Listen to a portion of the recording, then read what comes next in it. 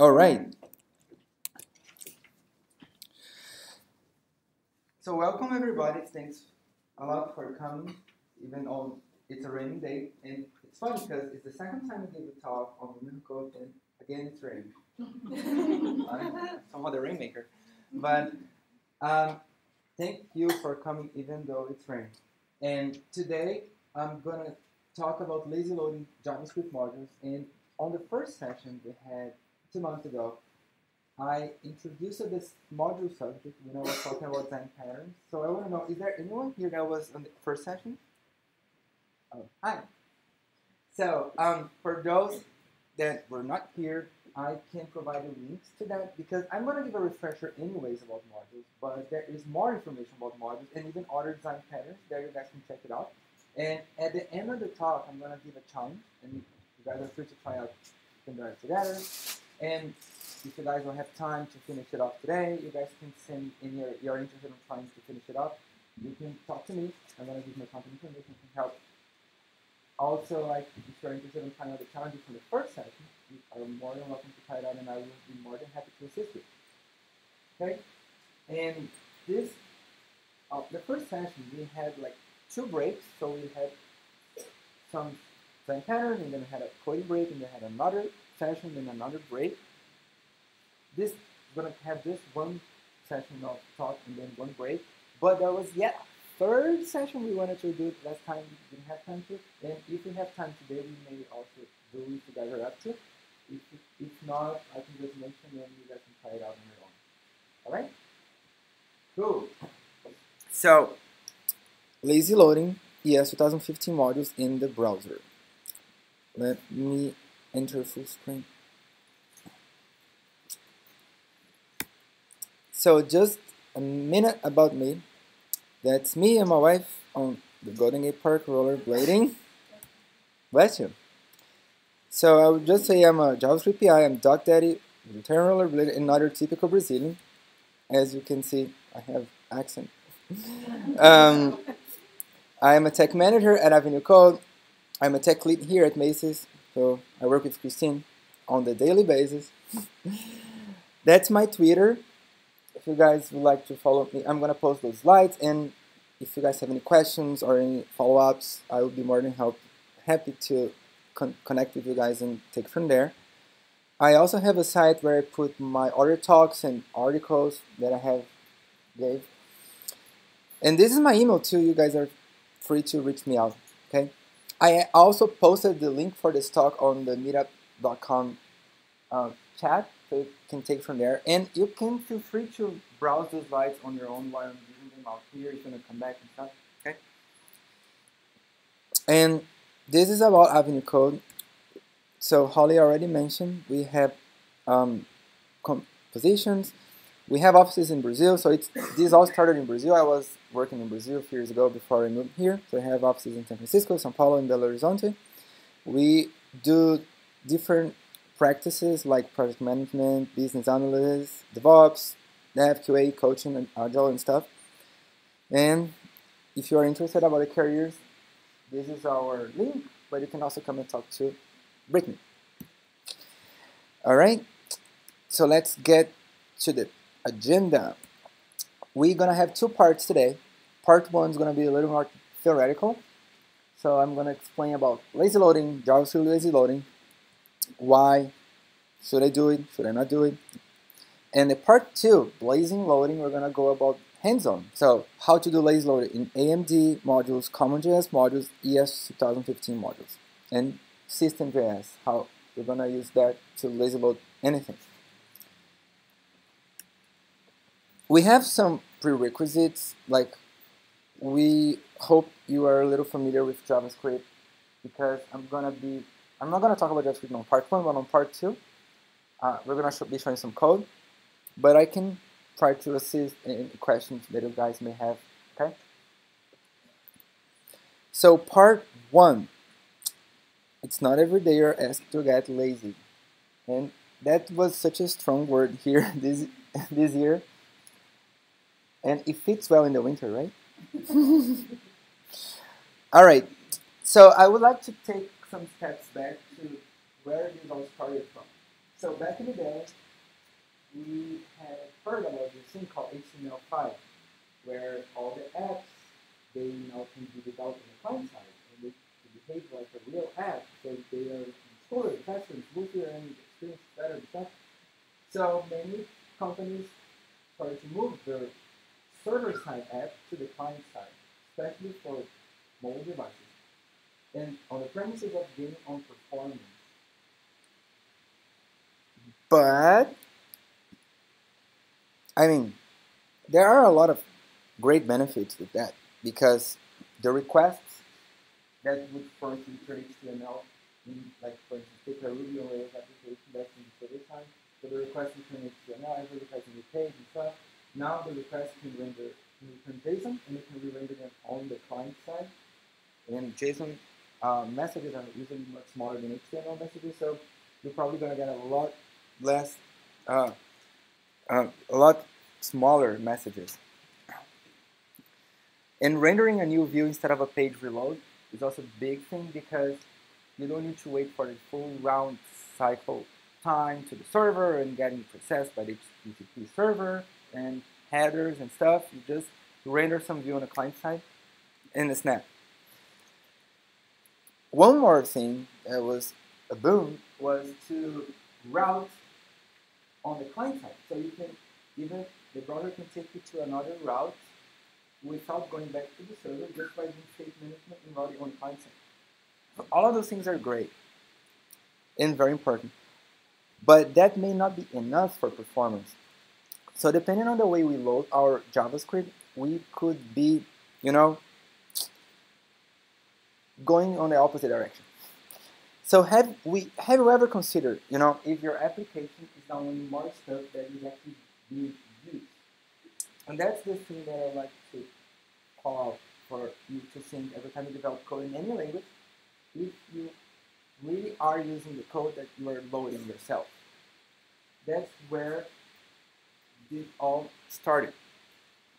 Because those performance gains, they can fall short if you are everything in one shot, but just using like 10% of your stuff, because you are downloading heavy messages and you are making the user to wait longer. So I would like to show you an example. Uh, there, are, let's suppose there are two sites, site A and site B, and how would they differ depending on the rendering that we're gonna have. So far, are you guys with me? Good. Yeah? SPA, it's a single page application, sorry. It's a, an application that is entirely meant on the client side, so all of these things would be part of the single page application, like rendering the view and, routing and stuff. Yeah, sorry because I didn't that. That explanation. Yeah, it, it should read much nicer, like spa. I yeah, getting lazy, going to spa. yeah. All right. So, lazy loading 101, true example. So let's suppose I have an e-commerce A, which is server-side rendering. And that page, that side has five pages. And this is the path to purchase. So you open the site with right on the home page. And then you click on some categories, with the browse page, and then you select a product. You see the product page. From that page, you add to your cart. So you can you are taken to the cart page, and from the cart page, you can check out. So this is like Macy's or Amazon or Gap, right? So let's think about this scenario. Five pages the user has to follow to purchase. So in a server-side rendered site, hypothetically, let's say each page downloads 300k of HTML and 100k of JavaScript. So that makes 400k of download every page. So the complete flow will download 400k on each page and 2 megabytes total. So after, after the user has visited all the pages, he downloaded 2 megabytes. 400 at a time. Okay? Um, now let's compare that to the second e-commerce. So let's suppose we have a single page application that has the same five pages. However, because it is a single page application, just the first page is an extra service side round trip because the four follow the next four following pages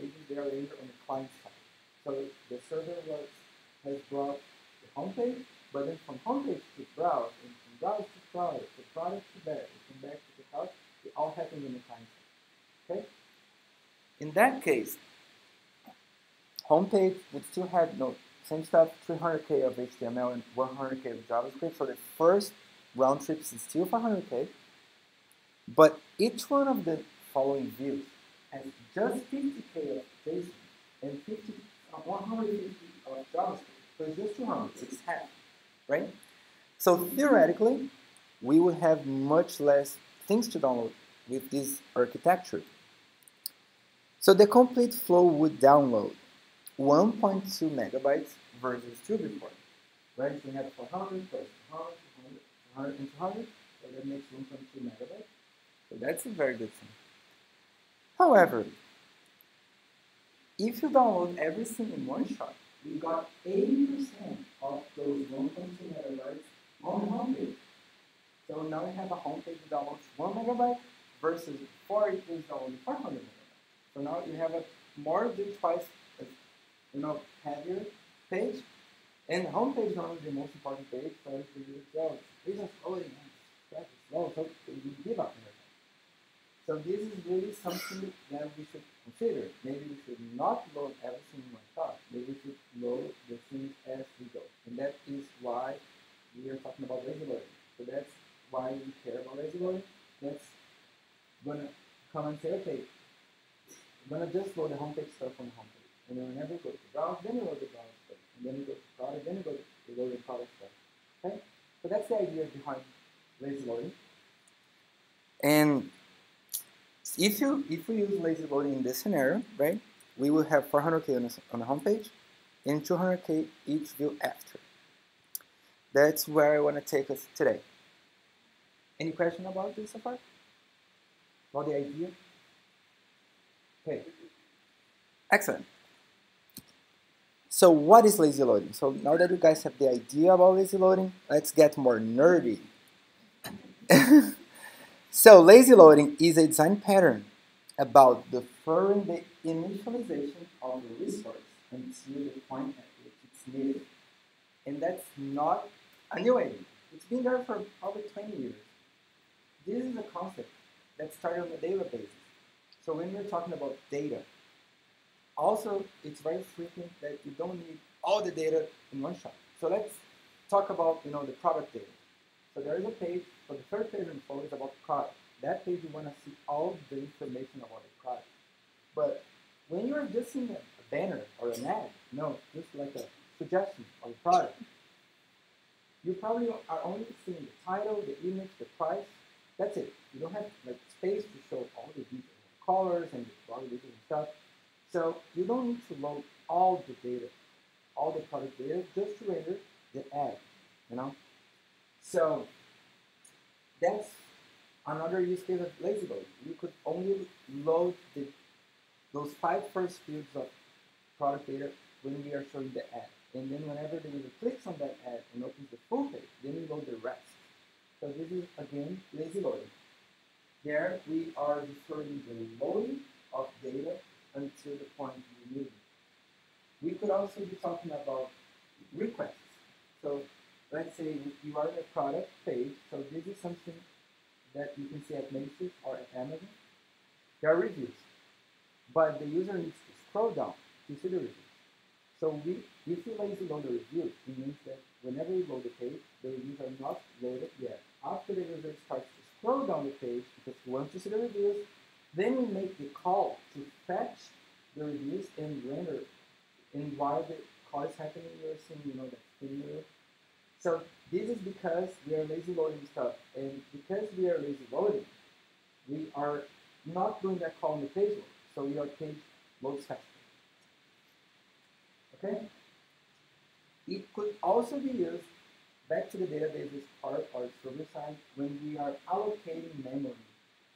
So if you have you know, just 10 megabytes of memory, you can you should think about okay, let me fit only the data that I need first on those, those 10 megabytes, and after I need it, then I load the rest. Every time you have limited resources, like data space or network, so our focus on that is more about network, then we can consider lazy loading. So the main goal of lazy loading is to improve efficiency when a significant amount of resources is not needed at first. And lazy loading is targeted to increase the performance and save on memory consumption and processing power. It is a EAA pattern. So there is this guy is one of the gurus of pattern Martin Fowler. I think he works for Power. And he created a book called EAA Patterns, that is Enterprise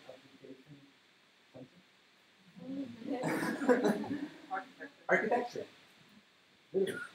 And this is a, one of the most referred books about patterns. And they talk, so I put a link here this book is from 94, I guess, like 20 years ago, and they have this pattern, lazy load. So that's why we have this going on for a long time. But before, the interesting part, so why are we talking about lazy loading in JavaScript? Because um, back in the day, you know, JavaScript was mostly needed to do some jQuery stuff to render some UI component or make some call. But now we are having a full application coded in JavaScript. So now, you know, we have a lot of complex logic going on and lots of modules and types to render represent that logic. So that's why now it makes sense to talk about lazy loading in JavaScript much more than ever. And I want to explain you guys about a concept that defines like why do we need to lazy load? At least we use that here at Macy's. It's called the fold. So think about a newspaper. So when you go to the newsstand and you see all the newspaper, they come folded. And the part which is above the fold is the most important part. So that part, the job, the main job of the part is to convince you that it is an interesting issue. And then if you are attracted to that, then you're going to come forward and do the rest. So the part that the fold is what's trying to convince you about the value of the newspaper. So we can take the same concept here to the right. So the fold is the bar that you see on the bottom of the screen. So every single render above the fold is very critical and needs to be rendered first and needs to be delivered first. Because that's the part that the user are going to see first. And then if the user are into your site, then they're going to scroll down see the rest. Okay? So we typically consider that content above the fold is as critical as possible, and we, it's normally not a very good idea to the fold. But everything that is fold is a very good candidate for this load because it requires some user interaction. And even the browser makes some decisions for you. So there is something called critical rendering time, and the browser. So let's say you have a page full of images, and let's suppose if you're not doing any loading, you're just doing an HTML with 20 images, but you can only see three images above the page. Even the browser prioritize those three images to be downloaded before the other 17, because the browser knows, okay, those are the really important ones, we need to get those ready. So those resources, they are prioritized by the browser, and there is something called critical rendering path. That is how that magic happens. So this is the path of the browser, and those things they must be rendered during the page load time, no matter what. So this it can't. I mean, it can, but normally not a good idea to lazy load. Then we have below the fold. Below the fold is everything else. It needs scrolling or user interaction. So not only scrolling, but let's say there's something that needs to click. So let's say there is the zoomer on the image that you want to see a large image. That requires a click. So that's also so that big image can be lazy loaded. You lazy load the big image before because you know even if the user never clicks on the zoomer, you will have that image downloaded anyway. So if we lazy load like the zoomer, we don't download the image. Only after the user clicks on the zoomer to see the large image, then we download the large image. In that case, the user that never interacts with the zoomer will never have to download to spend one megabyte of the data to download that image. Okay? So those are typically things that won't be displayed during the page load time. And thus, they don't need to be rendered with the page load. Thus, it can be lazy loaded. And I'd like to show you a quick example. Mm. So I'm gonna go to Macy's.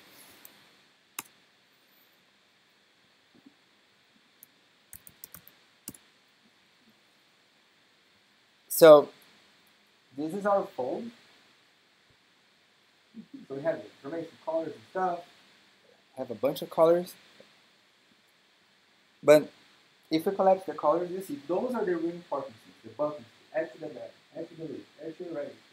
See your colors, see your price, see the promotions, see the image, see the alternate images, and see some recommendations. So those things are really critical, but I, I'm going to scroll down and if the network is slow, you're going to see there is a loader while we load the reviews. I'm going to click here on the reviews and it was there for half a second. I don't know if it's not there. But then we got the reviews here. But those reviews were not there when we loaded the page. And this concept, you know, is being used by pretty much any e-commerce. So if, let's go to Amazon. Amazon, we can see easily, I think. So let's see this fire. So I'm gonna scroll down and things start popping up normally. Not this one. Oh yeah, the reviews they did a very quick spinning process. Yeah, I guess this network is pretty fast. but yeah, Normally it's the opposite. Normally I always want the internet to be faster. Now I want it to be slower. but uh, I, I guess you got the idea.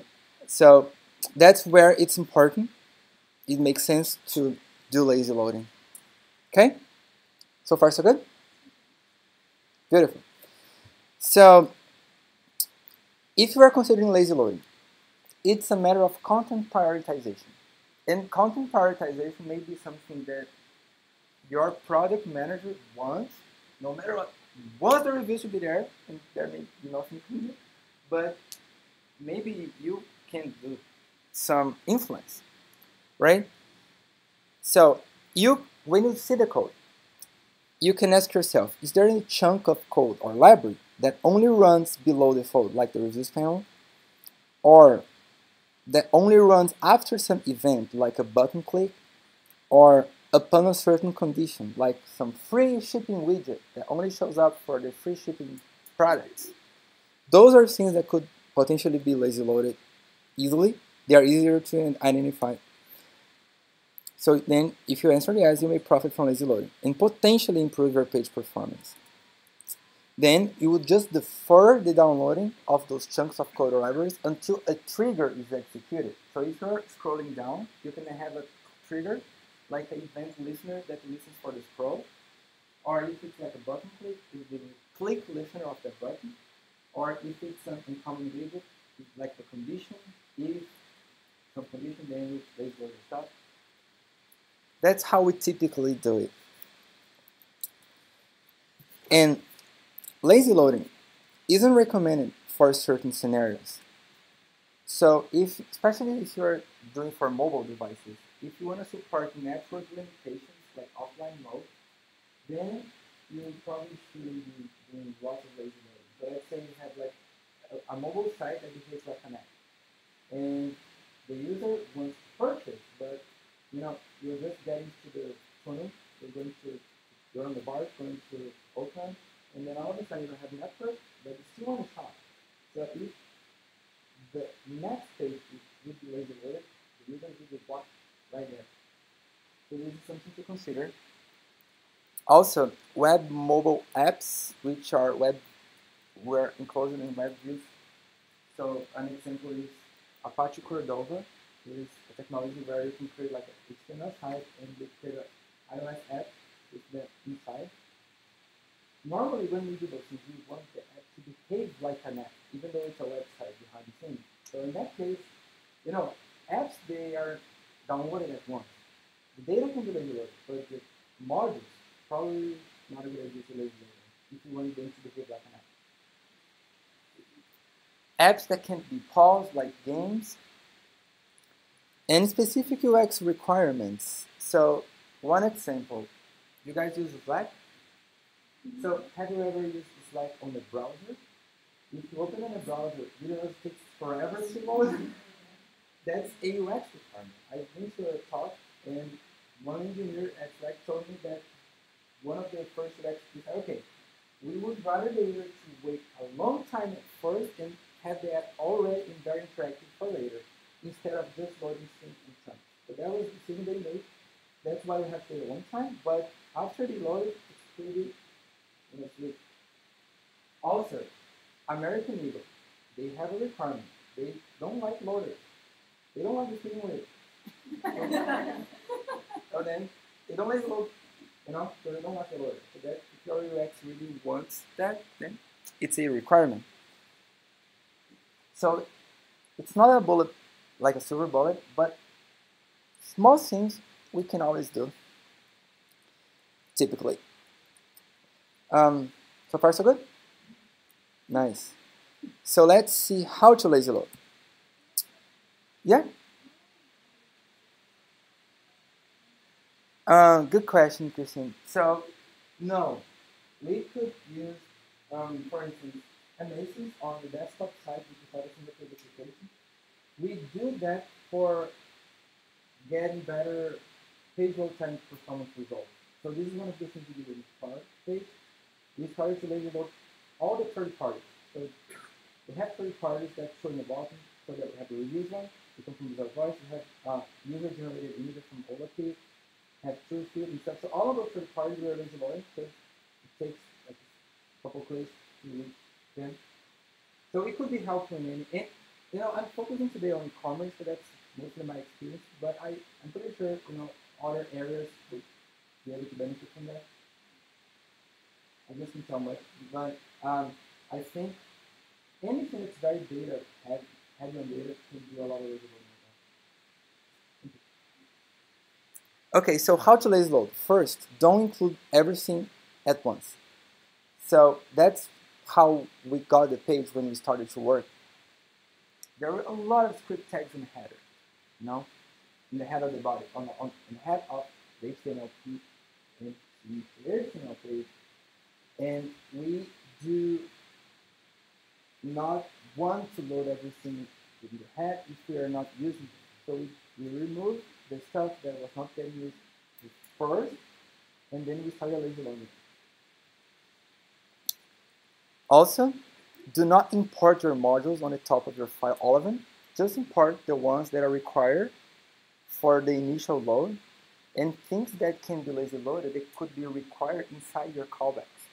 I'm going to show examples to make this idea more clear, but that's pretty much the trick. Just instead of requiring everything, importing all your modules on the top, just import them as you need. Then you would carefully decide when to import or require your modules. Like, I think I mentioned that before. So below the fold, you could put inside a scroll listener, event callbacks for user interactions or network calls, you can require on the callback, conditionally for uncommon scenarios, and timeouts. You guys all have seen the chat overlays that pop up after 10 seconds.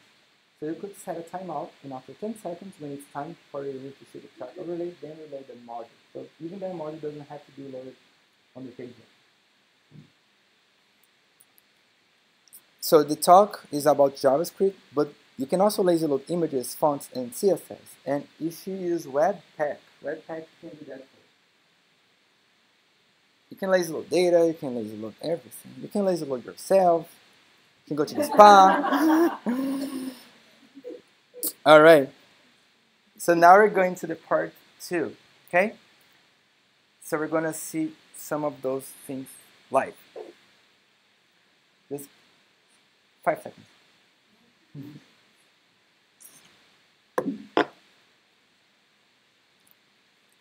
Okay, so any question right now? Okay, I'm gonna show you guys three strategies for modules, AMD, CommonJS, and ES 2015. This talk is about 2015, so, or ES 6. I will focus more on that part, I'm gonna I'm gonna show with not as much detail as yes with the two other models, but if you guys have more questions, can ask them later. Okay. So let's start talking about AMD or Require.js. So how many people here have used or are aware or familiar with Require.js or AMD? Okay. All right. No problems. And AMD was something big, like five years ago or four years ago. Now it's no longer the hot thing in the market, but still heavily used. Makes it a lot because it, it's a very good framework. But AMD, like AMD is like a format of the modules requires the implementation, the most common implementation for AMD. It is very good, but it's asynchronous. So it's asynchronous module definition. And because it is asynchronous, it is harder to manage. Because if you have a dependency that has another dependency and stuff, they all result in, on runtime. So it is possible to get yourself into some race conditions are programming everything is asynchronously.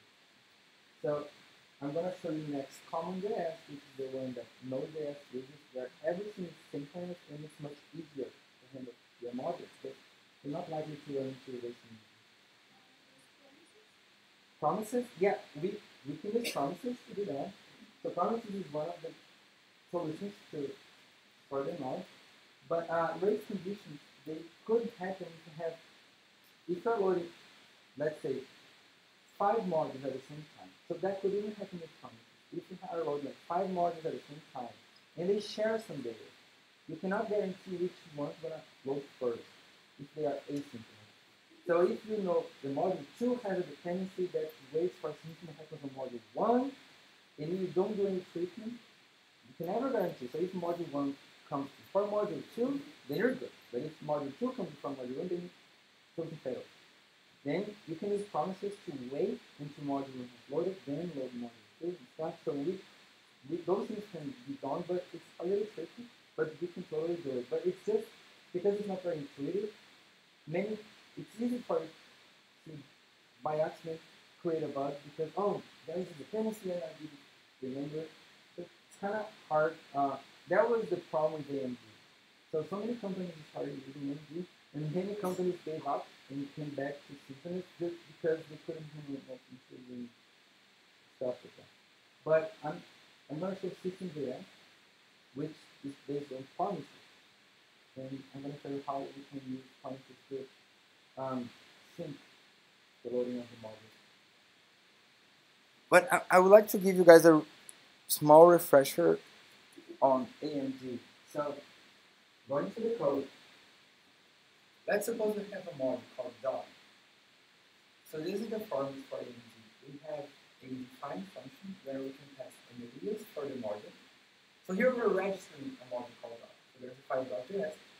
We create this module dog, so we name it. These are arrays for dependencies, we don't have any dependencies here. So, and we pass a function. We have some code, we return something. So my module, whenever someone requires dot, we're going to return something. So what is that? It is a function. So this is like a prototype object creation through a constructor here that receives name and greet. We assign the name that came from the parameter to this dot name, and we do the same thing with greet. So when people do new dot and has like two parameters, first one is. And dog has a method called dart assigned to the prototype. Prototype. This is like one of the patterns that I explained in the first session. How to the constructor and use the prototype. So I can give you links to those slides as well. But this is pretty much recreating a function that is declared once, but if you have 100 dogs, they all are going to share the same definition of the function bar. And the function bar pretty much is going to return the name of the dog and the bar style. Right? That bar style is another function. This function is private to the model, so it's not accessible from. So bar calls it, but external users cannot call this function. And it's going to check the grid.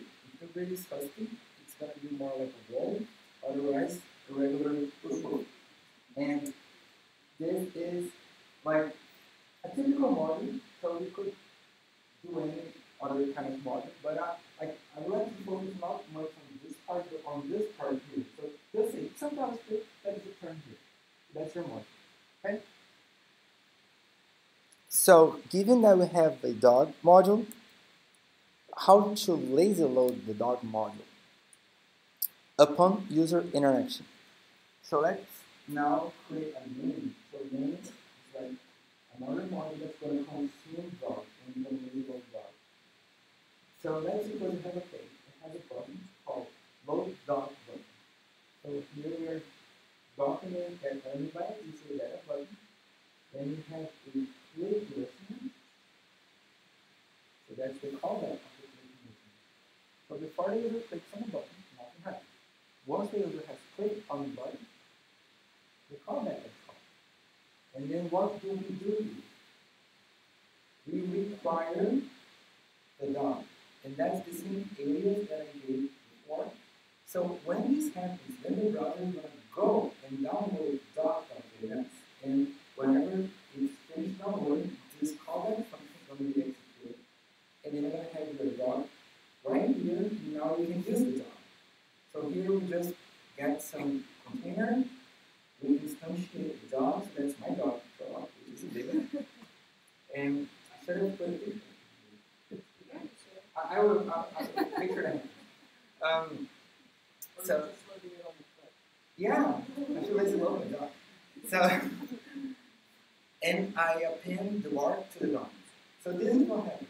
Here I'm waiting for the user v1 to call the the, the is the button, to on the DOM.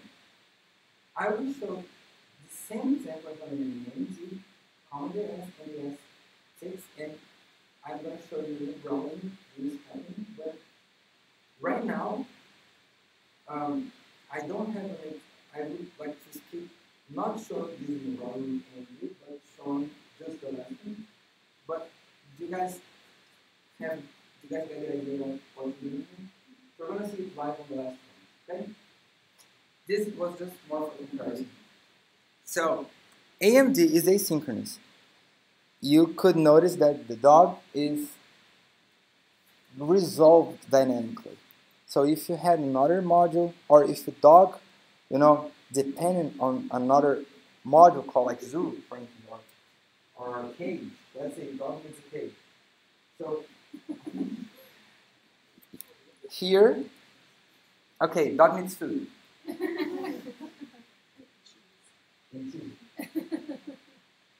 So you could pass some dependencies here and then come here and do that. So that means that whenever you load dog, you also load food And another, so recurring estimate that happens. Okay? So that was AMD. Um, I'd like to go to CommonJS. Do you have any questions about this? Okay. So CommonJS, a quick refresher. CommonJS is simpler to understand. It's the module that we all learned do Node.js.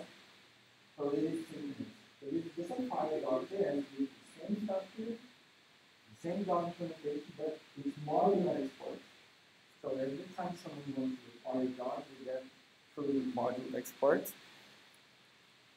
So here is the question. How can we do lazy loading with CommonJS? First is we can't. I mean, not natively, because CommonJS doesn't support it. So I'm going to ask my little friend Webpack to help me out. So Webpack has something called require.ensure that pretty much works as required. They require JS from AMD. So if you do the same thing JS, the same quality, the same you require ensure, and test this function that it has to require, you can require dog in the CommonJS way, and you can use the dog. And the difference about Webpack is that Webpack can figure out that, okay, you're lazy loading here. So Webpack's not going to put that in your bundle. It's going to leave that to another bundle that's not going to be delivered together as it's delivered maybe. We're not talking about bundling, but think about Webpack will do the hard work for you to separate this code to be loaded separately by code. So this all happens behind the scenes using Webpack department. Okay? And I'm showing that we're going to use single which is System.js. So I put a link here if you want to read more about that. Called code splitting. It's a feature of Webpack. And for those that are not very familiar with Webpack, Webpack is like a bundle of code. So it's a tool that you can add to your pipeline, to your process, to process your modules. So Webpack can do a lot of things. It can deliver modules that can combine, it can create bundles, bundles for CSS, JavaScript images and stuff. And you can use Webpack to manage your entry points that will load this bundle altogether. And when we say bundle, it means we are combining files in one file. So let's say you have 20 things required in line. Have an app, let's say you have jQuery, you have underscore, have, no, I don't know, backbone or something else, handlebars. All of those need to be combined and delivered in one shot to you by Webpack. And then if you have dog that requires food, and food requires plants, and plants requires water, and so forth, all those want to be part of the bone that gets loaded only after the is So this is what I mean when I talk about bundles. And Webpack does a very good job to manage the bundles for. Okay? So let's go to the funny one. ES 2015. And you know, you may have heard ES 6, ES 2015, ES Next, ES 2016, ES 2017, ES 7, ES, ES 8, and I don't know how to anymore. But what does it mean? ES ECMAScript. That's the official name of JavaScript. And the one that everybody has running is ES5 um, so, like four or five years ago, the community came up, okay, we need to have a new version of JavaScript. And they started to call it ES6 because the current version was fast, right? But after some discussion, they decided that ES6 was way too bigger and too broader in scope. They decided to break the releases down per year. So instead of saying, no, now it's ES6, ES7, ES6, no. We're going to have ES 2015, which is everything we got cell to implement in the browser. So a subset of the ES6 called ES2015 was the group that was selected to be implemented by the browser. So right now, Chrome and WebKit, they are close to 100% of natively support ES2015. And that's the goal. So once we get other browsers supporting ES2015, then like next year we get the browser to work with the features that are in ES, ES2016, and so on. And before we have all the support with one, or if we want to support the old browser, we have to use some tool to do the transpilation. A transpiler, so probably you have heard about Babel or Traceur. Those are systems that will transform, you can code in ES 2015, they will transform it to the ES5 code for you. So you don't have to worry with that. Code in the new language, in the new version, and don't and not worry with who is going to run it. And whenever other browsers are supporting beautifully, you can just remove Babel and run that code natively. So that's something that's that have been has been very much adopted by the industry the past two years. So that's why I'm mentioning here because I think it's very relevant. So any new uh, development you guys may do in your projects, if you have access to ES 2015 and beyond, that is something that we always recommend for you to learn and try out because more and more you're going to see new systems, new, new projects using things. Okay? So a quick refresher, and there's a bunch of new stuff. So instead of var, I'm using let. Let's remember to look at a var.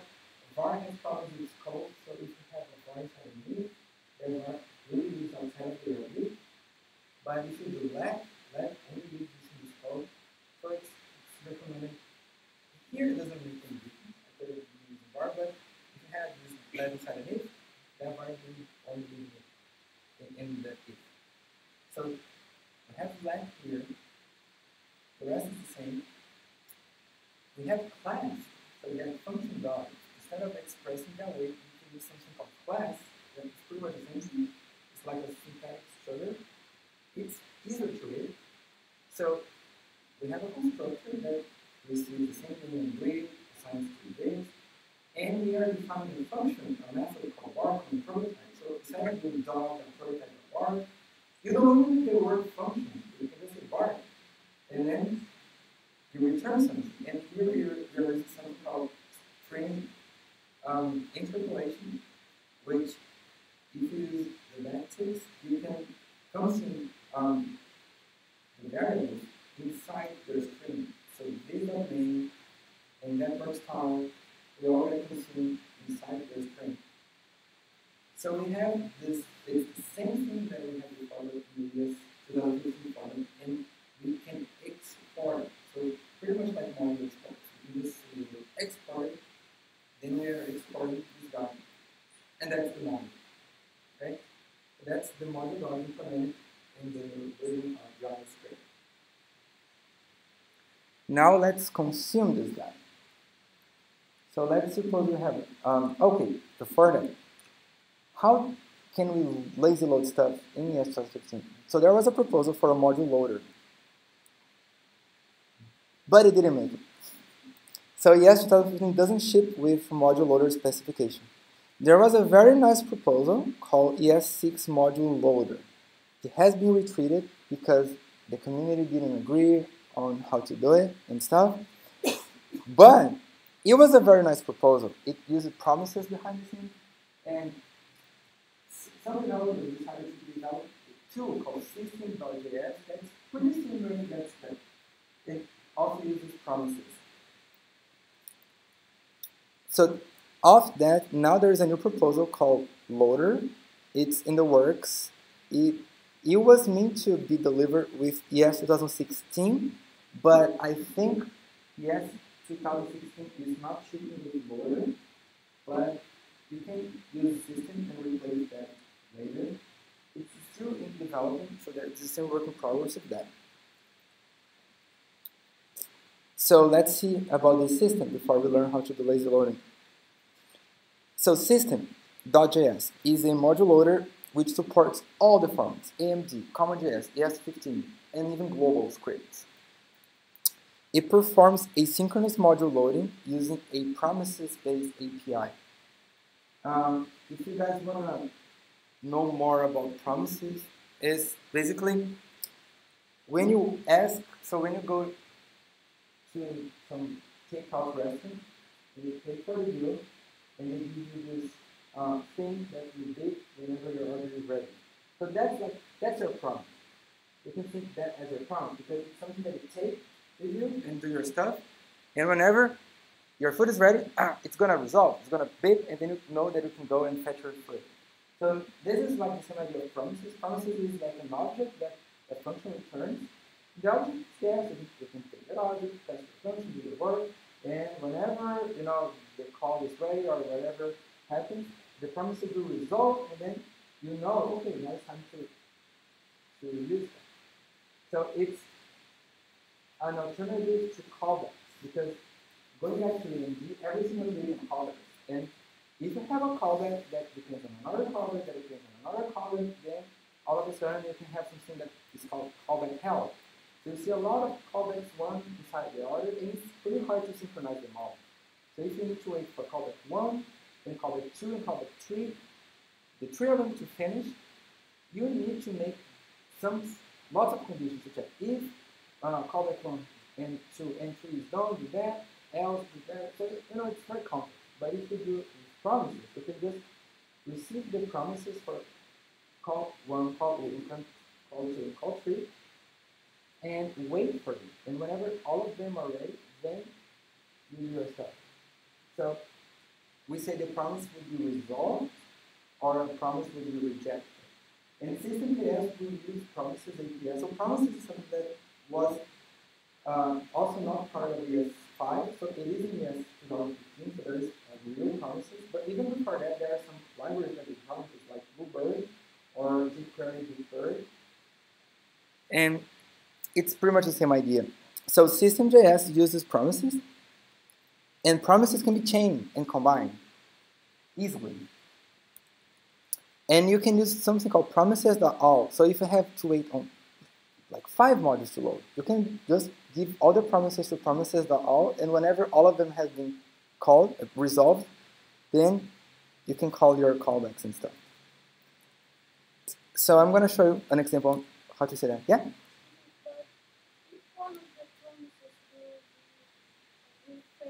Mm-hmm.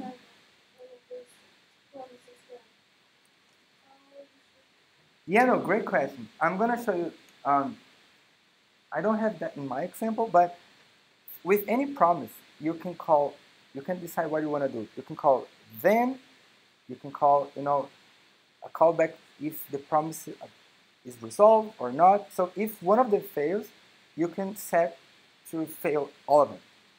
So you can decide if you want to try it again. You can just code that in your callback.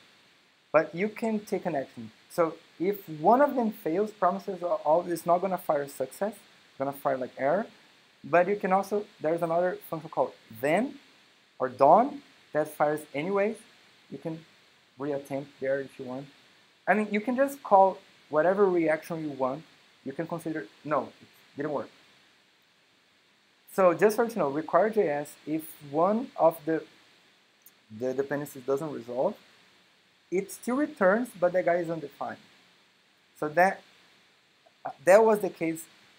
Um, unless you can make it strict, you can define no. If one of them fails, I want the entire thing to fail, which makes more sense in some cases. But you really can define how you want that to be um, reactive.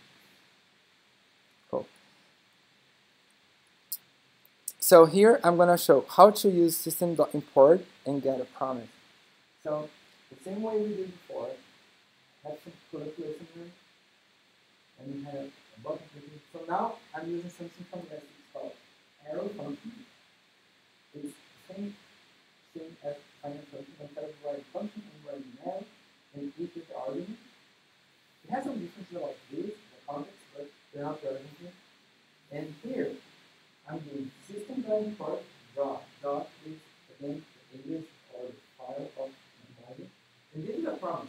This returns me a promise. I call dot then. So whenever the promise is resolved, I'm going to call this callback. That's going to take dot, another callback, and use dot. So if I have here, if I have like three modules, then it's called every time. But if I only wanted that to because if succeeded out, I could succeeded. I don't know but there is another function that you can call instead of then that will um, react only if all of them are successful or if one of them had an error. Okay? I just tried to make it more simple here so that that's what we call them. Alright? And we're gonna show that live. Okay, let me show that live before I continue. Oh yeah. So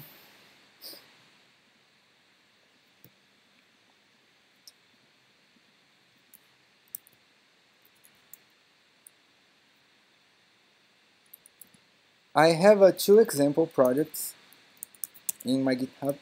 Guys can take a look if you want.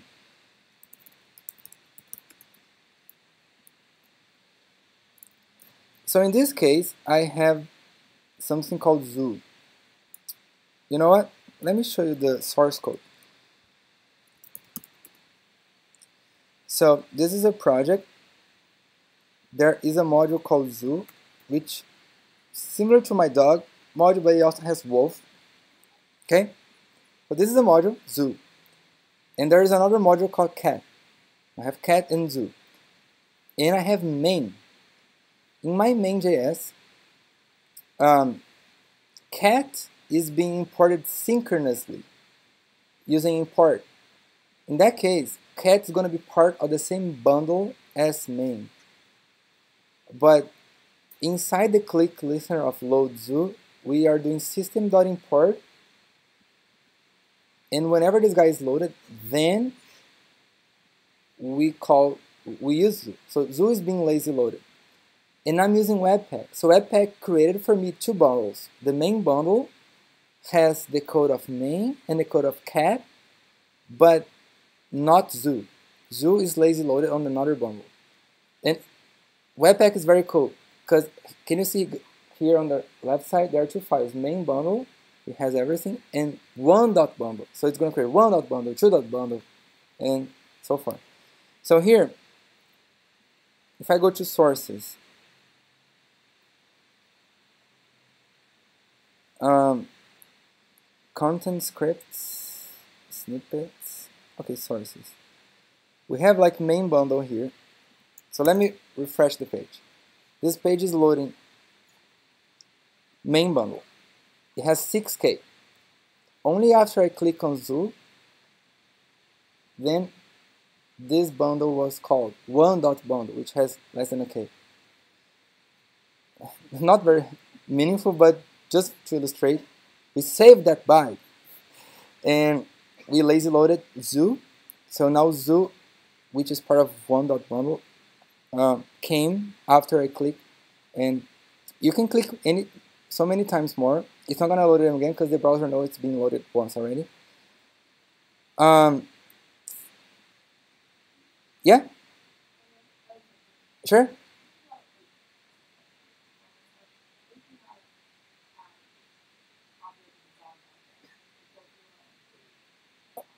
Okay.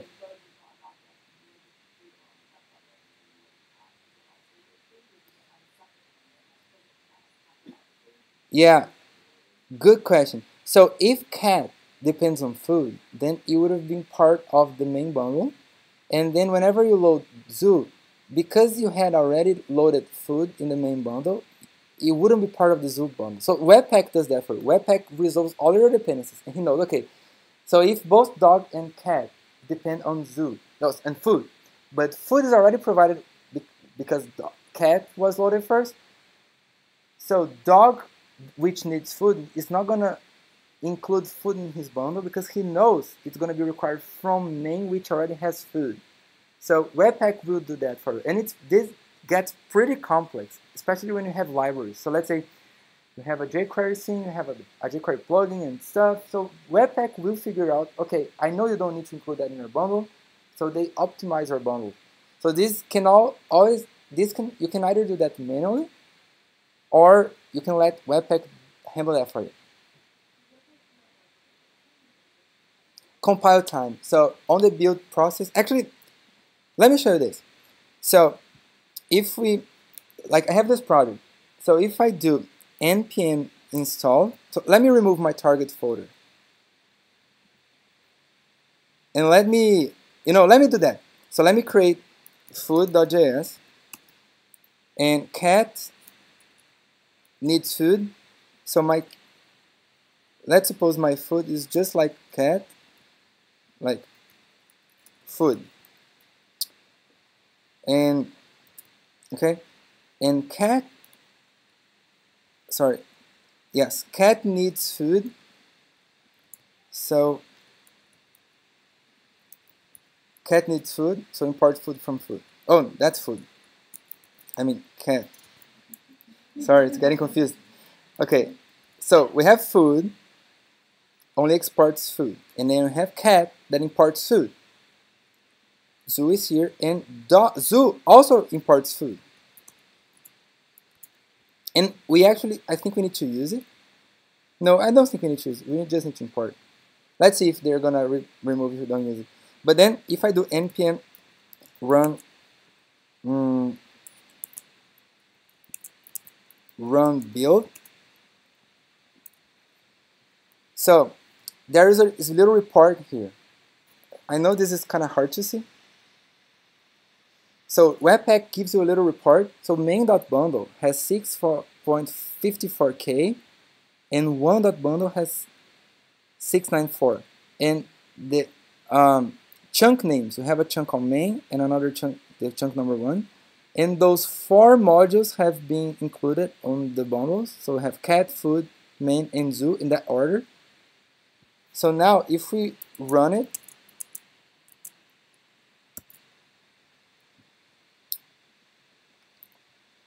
you know what? There is a nice way to see the JavaScript. It's um, I just don't remember. There is a view I can see the. Is it a, no snippet I may not have it right now, but there is a view you can see the source files there have been loaded. I think I didn't include the source maps. But anyway, I mean we have this guy we lazy load zoo, we have bundle, and we can inspect inside. So if we go to main.bundle, let's search for food. Yeah, food is here. So the food definition is here. But if you go to one.bundle, food is not here. I search for food, I don't I just see the imported module food. So they Webpack internally creates those functions to import that. But it didn't include food on, on the bundle that's lazy loaded. It's only on the first bundle. And um, actually, the challenge that I'm to give is about that, so you guys can play a little bit of that. But this is like the idea. So, um, back to the code, I was able to that to do that just by using system.import, and Webpack was smart enough to figure out that okay, that's a bundle. Okay? Alright. So, um, just to finish it off, I'm almost finishing. The this slide I wanted to have removed, but I forgot. but uh, just to mention, there is another alternative to JSP to the system called JSPM. I mean, it's interesting, but uh, I think Webpack 2 does a little bit more. So JSPM is a package manager. It's kind of like NPM, but for the client side. It has System.js and it performs bundling, so it can do Webpack's work. But the way the JSPM resolves the module, it's dynamically, normally. You can also do pre-bundling, but the default behavior is to do that on the client side. So in order to do that on the client side, you need to load JSPM on the client side, load System.js on client. So it's, you have to load more stuff. With Webpack, you don't do that on the client side. You do it on, on the build time. So your bundles are smaller. Webpack 2 is almost getting released. It's still in beta. But the good things about it, it has native support for ES 2016 and System.js. So you don't even have to download System.js. You just do system import and rejoice. Um, it loads modules, as we mentioned, it performs bundling and tree shaking. Tree shaking is something super cool. So if you have um, a very big module that has a lot of small uh, import, export. So let's say you have a library 30 functions being exported, but you just need two. So if you do tree shaking, uh, Webpack is going to figure out, okay, you just need those two functions. So let me remove the other 18 from your bundle, because I know you're not using them. So your bundles get further optimized. So this is very, it's not, it's not only about the bundles, it's also about runtime. You're not going to get full object and load entirely in your browser memory. I'm going to load those two functions from the bundle, from the object to your uh, context. So it's a pretty cool thing that's coming up with Webpack 2. Yeah?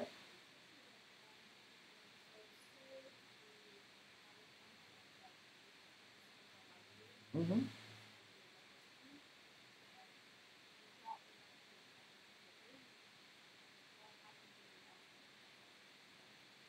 So that's a very good question. So Webpack, so if you had the, li the library before, let's suppose you had the library before and you didn't load that module, but then you have the listen, so you are loading some module and you are using that function, I believe that function, only that function being included in your bundle, on the lazy loaded bundle. However, there is a however. This is meant to happen natively. because we're using Babel right now, I'm using Babel, Babel transformed that to CommonJS. And in CommonJS, we don't really have tree shaking. This tree shaking is only when you are purely using ES6. So if you do that in browser that really supports ES6, like Chrome, for instance, then you can get the real tree shaking. But if you're going to use Babel, no, you're not doing any tree shaping because it's still using require uh, CommonJS one thing. So you're getting the entire object. So in that case, you get have gotten the entire object before, so your lazy loaded bundle wouldn't have anything. And you would have loaded the entire library before. So it's a little tricky and not there yet, but it's a good idea. Okay? Um, I'm giving here some links. You can learn more about Webpack 2, the roadmap, and that project that I just mentioned about the zoo and the dog. It's right here. Okay? And now the challenge. If you guys are up for the challenge. So, I'm going to give you a few steps, and I'm going to even start together with you guys. Okay? Um, this challenge is about we have some code base that everything is being loaded in one shot. And I want to invite you to lazy load two modules using System.js. Okay? So this is a project that I have. So probably it might be better for you to open the uh, go to meetup.com, find my the link for my talk, and then click on the link. So this is my repo, and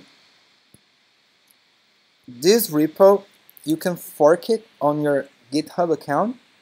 If you don't want to fork it, you can just clone or download to your to your local host and play with it. But if you fork it, then you have it saved on your account so you can push and keep it there. Um, first, you take a moment to understand implementation, and I'm even going to do that together. So there are two modules. Okay, so let's do it, actually. Let me do the step number two together. So we have this Webpack challenge. There are three files, main.js. So, main.js, what, let me run it. So when you download the project, go to readme.md. You need to have Node 4 at least. And then you're going to do npm install, npm run build, an HTTP server just to serve.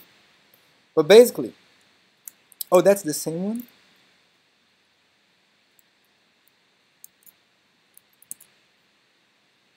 Oh, that's the same one I.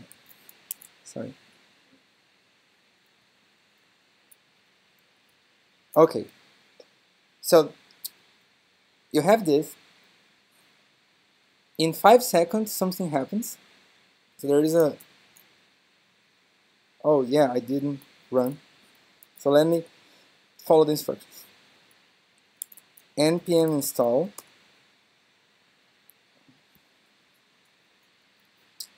then npm run build that's gonna generate a bundle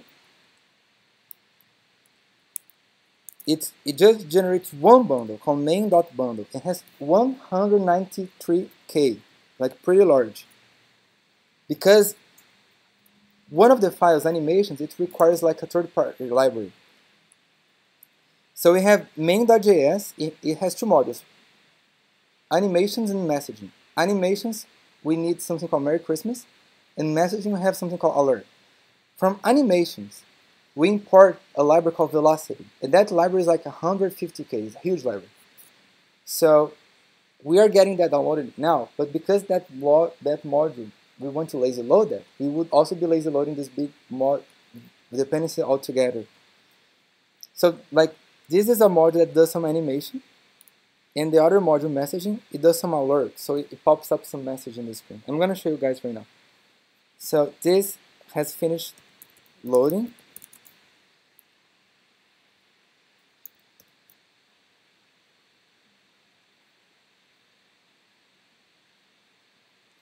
Oh, really?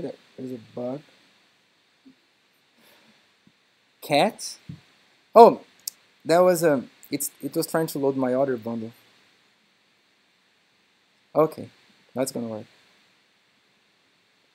See, so two things happen. So let me refresh. So there's a timeout of five seconds. After five seconds, you see an alert. I'm learning how to lazy load. And if you click in the button Merry Christmas, it does some animation. Know? Both things we are we don't need both things on the page load, but here I'm not doing lazy loading, so I'm loading everything in one shot. So we have this main.bundle, which has 189k. So the exercise is to lazy load the Merry Christmas module and the alert module. So the outcome is whenever we succeed, if you go to network and see JavaScript, instead of seeing main bundle with 189k, you would see main bundle with maybe 5k and lazy and, and the animation one's gonna be big but that's gonna come later. So that's you can verify that by looking at the the network and seeing if the, the module gets lazy loaded. Okay I mean let me let me go back to the modules to explain you once again. So this is the main. We import the module, we import, import animations, we import Merry Christmas from animations, and we import alert from messaging. Here we have a we have a button, right?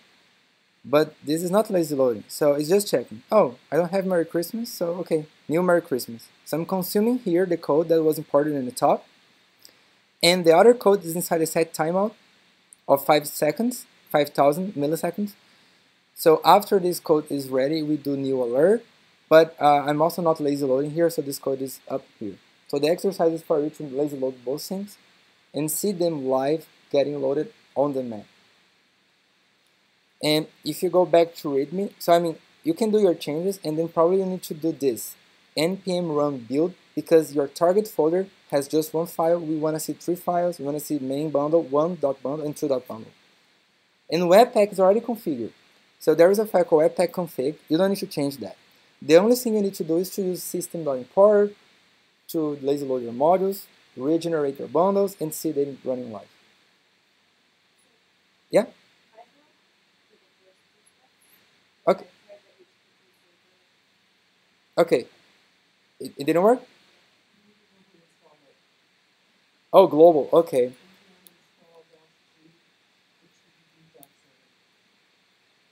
Yeah, I one thing that I tried to do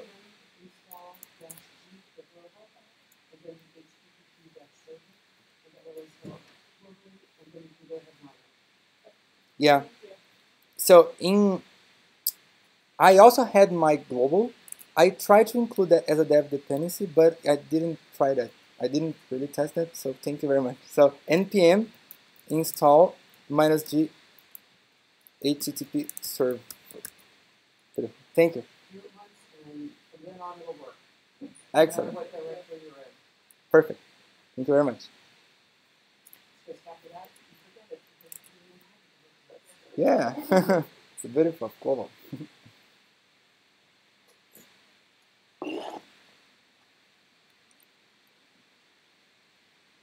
and we have some sweets in the back. You wanna have a little sugar refresher? I gonna have one.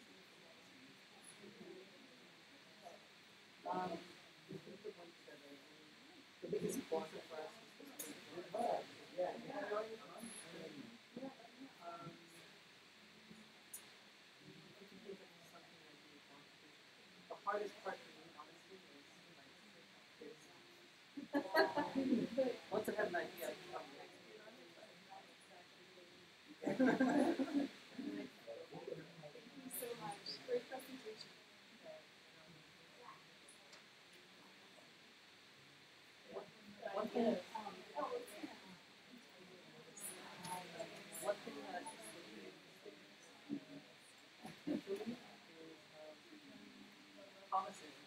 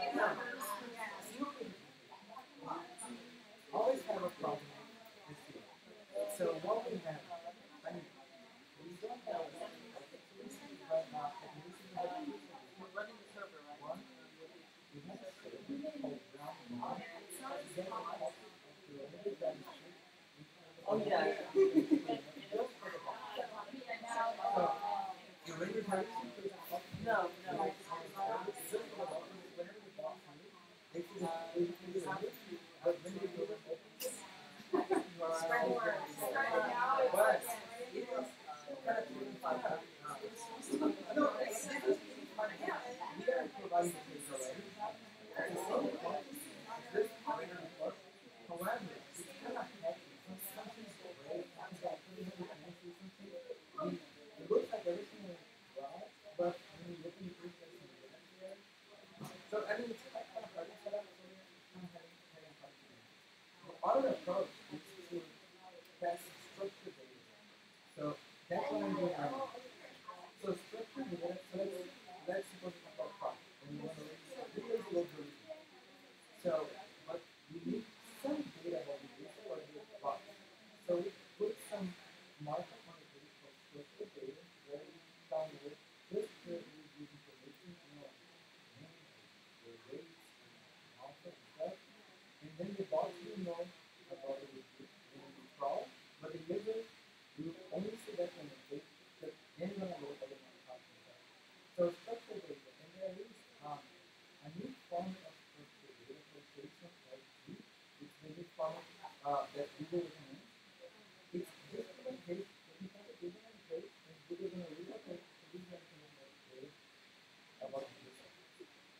Yeah,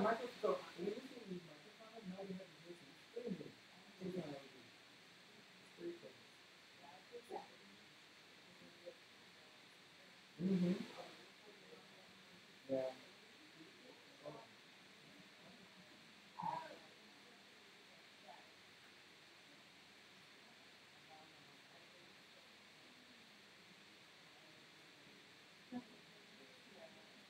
And I forgot to stop recording. Of course.